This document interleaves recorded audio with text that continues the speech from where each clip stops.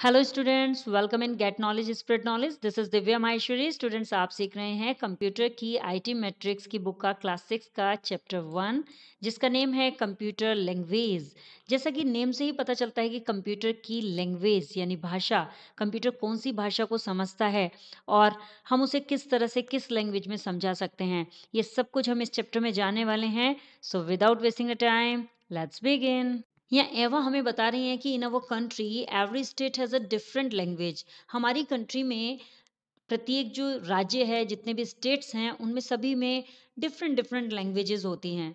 As you know कि India हमारा country है सो so इंडिया में डिफरेंट डिफरेंट स्टेट्स हैं और उसमें डिफरेंट डिफरेंट लैंग्वेज हैं. So to speak to a person from a different state अलग अलग स्टेट में जो लोग हैं उनसे बात करने के लिए you need to know his और हर लैंग्वेज आपको उनकी लैंग्वेज का पता होना ज़रूरी है, आपको आवश्यकता है कि उनकी लैंग्वेज को जाने।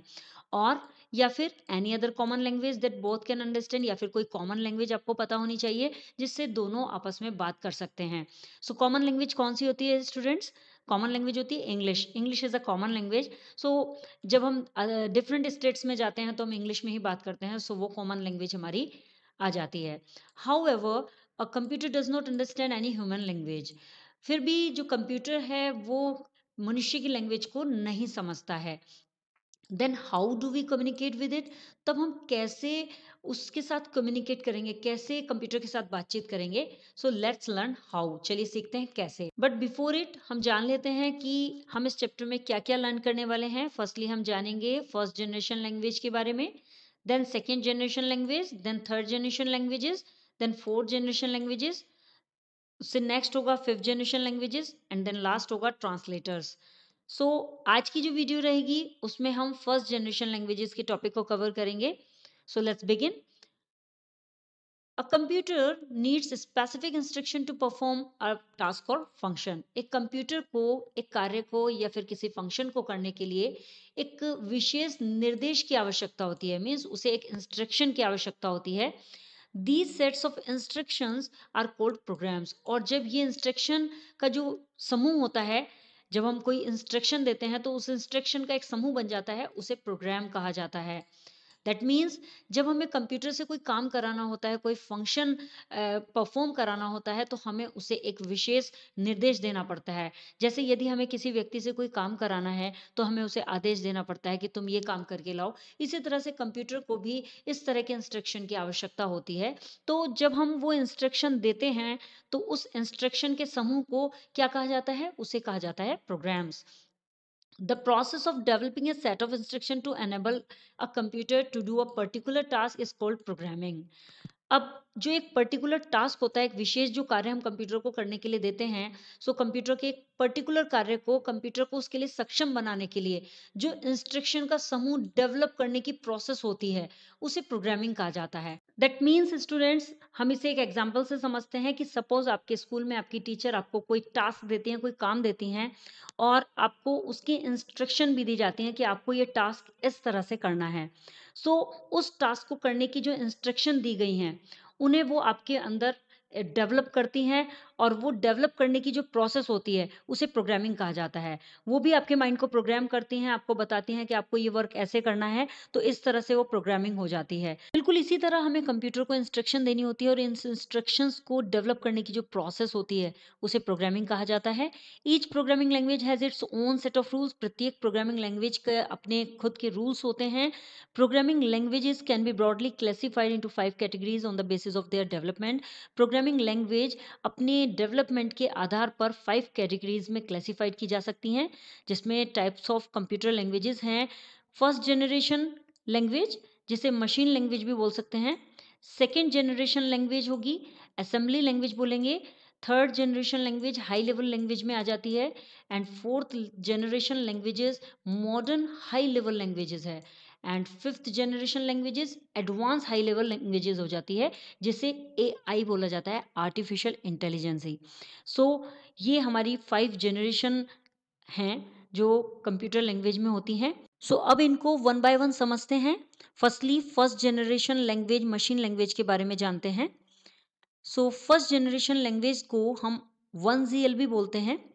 मशीन लैंग्वेज और low level language L L L is known as first generation language machine language या फिर लो लेवल लैंग्वेज भी बोल सकते हैं, जिसे हम शॉर्ट फॉर्म में एल एल एल यानी ट्रिपल एल में जान सकते हैं। तो इसे फ़र्स्ट जनरेशन लैंग्वेज के रूप में जाना जाता है। Machine language is the only language that a computer directly understand एक केवल मशीन लैंग्वेज होती है जिसे कंप्यूटर डायरेक्टली समझता है। जैसे यदि आपकी जो नेटिव लैंग्वेज है वो हिंदी है तो आप हिंदी को डायरेक्टली समझते हैं।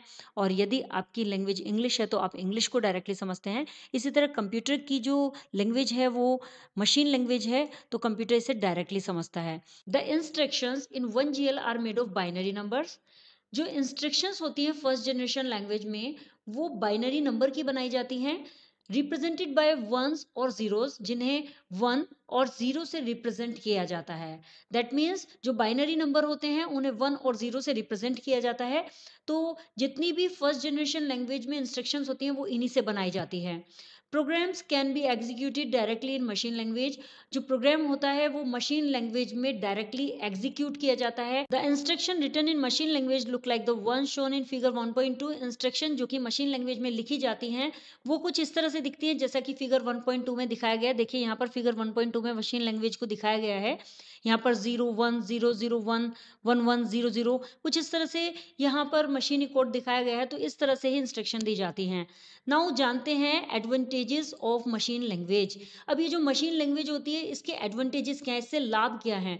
फ़र्स्ट है machine code can run very fast and efficiently machine code बहुत तेज़ी से और कुशलता पूर्वक रन किया जा सकता है।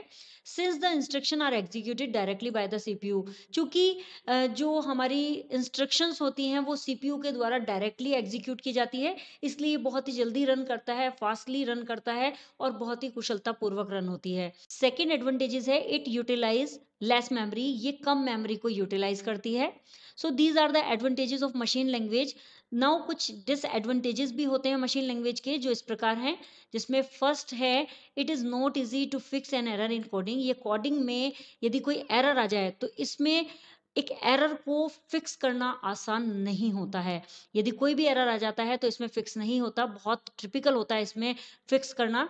सेकेंड है it is difficult to debug the program written in machine language इसमें मशीन लैंग्वेज में लिखे हुए प्रोग्राम को डिबक करना भी बहुत डिफ़िकल्ट होता है। डिबक का मीन्स होता है कि यदि कोई प्रोग्राम रेडी हो जाता है, उसकी कोडिंग हो जाती है तो उसमें एरर्स जो आते हैं, उन एरर्स को कवर करना बहुत ट्रिपिकल हो जाता है। थर्ड है it is extremely machine dependent ये पूरी तरह से मशीन पर निर्भर करती है। Hence you can use only one type of computer for a particular machine language इसीलिए आप एक पर्टिकुलर मशीन लैंग्वेज के लिए एक कंप्यूटर का, एक ही तरह के कंप्यूटर का केवल यूज़ कर सकते हैं। इसमें अलग अलग तरह के कंप्यूटर्स को आप यूज़ नहीं कर सकते हैं। सो so, ये मशीन पर डिपेंड करती है, पूरी तरह से मशीन पर निर्भर होती है। स्टूडेंट्स यहाँ एवन ए इन्फो बॉक्स में भी हमें कुछ इन्फॉर्मेशन देने के लिए लिखा हुआ है। The binary digit zero represent the off state and the binary digit one represent the on state अभी जो आपने बाइनरी डिजिट के बारे में जाना मशीन लैंग्वेज में तो इसमें जो ज़ीरो होता है, वो रिप्रेजेंट करता है ऑफ़ स्टेट को और बाइनरी डिजिट में वन जो रिप्रेजेंट करता है, वो ऑन स्टेट को रिप्रेजेंट करता है। आई होप स्टूडेंट्स आपको ये वीडियो क्लियर हो गया होगा। If you have any query so you can comment me in the comment box next video में नेक्स्ट टॉपिक के साथ अगेन आपसे मिलते हैं। तब तक के लिए बाय